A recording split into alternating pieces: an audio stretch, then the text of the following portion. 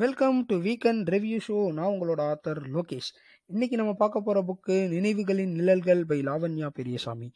இந்த ஆத்தரை பத்தி சொல்லணும்னா இவங்க ஒரு book tuber and book reviewer இந்த புக்கை பப்ளிஷ் பண்ணியிருக்கிறது ஏழை பப்ளிஷர் இந்த புக்குடைய கதையை பற்றி சொல்லணும்னா ஒரு அம்மா தன்னோட பையன் கிட்ட தன்னோட கடந்த கால நிகழ்வுகளை ஒரு டைரி மூலமா உணர்வு பூர்வமாக சொல்ற ஒரு கதை தான் இது. இந்த புக்கோட main character Lucky Aadhi and Yazh. லக்கின்றது ஒரு டைரியோட கேரக்டர் ஆனால் அதுக்கு உணர்வுகள் கொடுத்தது ரொம்பவே அருமையாக இருந்துச்சு.